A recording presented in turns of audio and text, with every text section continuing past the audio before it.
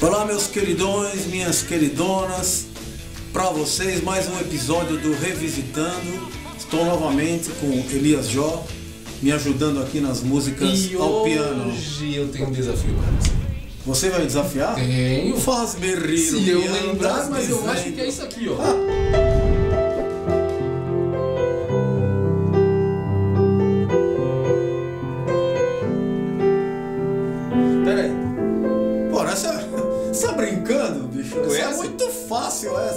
É? aquela música do Elton John, o Your Song. Não, não, não. Your Song é essa daqui.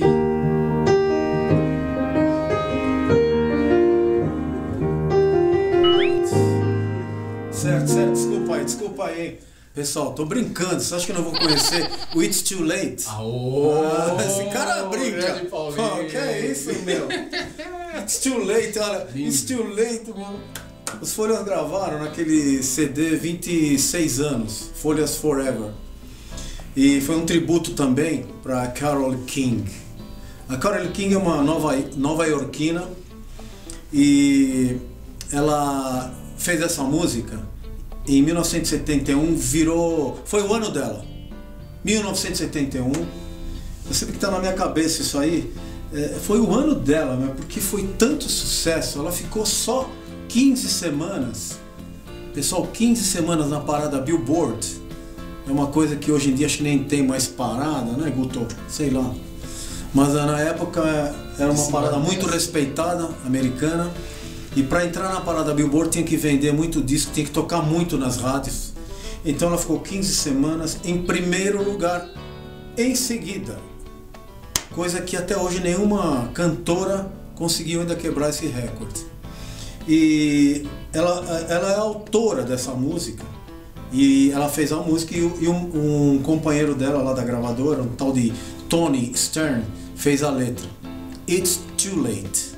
Então, 71, eu falo que foi o ano dela, porque ela só ganhou quatro prêmios Grammy com essa música. Melhor música do ano, melhor álbum do ano, me- é, melhor gravação também. A gravação foi considerada nota 10. E com isso tudo, a Carole King saiu para o mundo, também foi um sucesso mundial. Nós dos Folhas gravamos nesse disco, como eu já disse, e vamos mostrar as duas versões para vocês. Dessa vez nós não fizemos um cover, nós fizemos um arranjo dos Folhas, claro, a música com a base dela, né? Aquele. tadaram. Super, isso aí, né?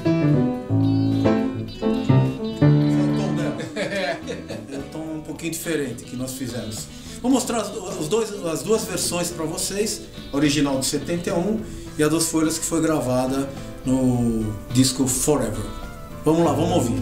Vamos ouvir. morning just to pass the time. Esse- There's something wrong here, there can be no denying. One of us is Bem changing, simples. or maybe we just stopped trying. A voz dela, ela dá o recado, uma voz também. Ela abriu a boca e já sabe que é a Carole King. Marcante, né? O timbre dela. A Carole King, ela tem outra música também, enquanto vai rolando para vocês ouvirem. É, You've Got a Friend, que foi gravada por um monte de artista, orquestra, né? E o, o James Taylor, É. que inclusive foi marido dela uma época, acho.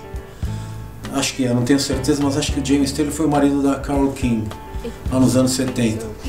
E ele gravou essa música que também explodiu. Foi uma, uma música de sucesso mundial.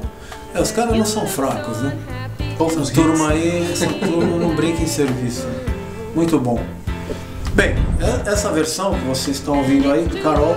Agora vamos ouvir a versão dos Folhas, que é um começo um pouco diferente, a sonoridade é diferente, né? Um pouco mais agudo, talvez um pouquinho mais rápido nos Folhas. E o Bitão faz a voz solo. Nesse disco ainda o Hélio Santisteban estava conosco, fez a parte dos teclados. Tem uns acordes diferentes aí do, do original. Então ouçam aí que, que é um pouco diferente. A voz do Bitão tá legal, os vocais. E uma, uma característica que o Bitão fez, eu acho que ele fez um solo de. Acho não, ele fez um solo de, de violão. um solinho de violão curto e depois ele fechou o solo, o solo de guitarra com um estilo bem Santana.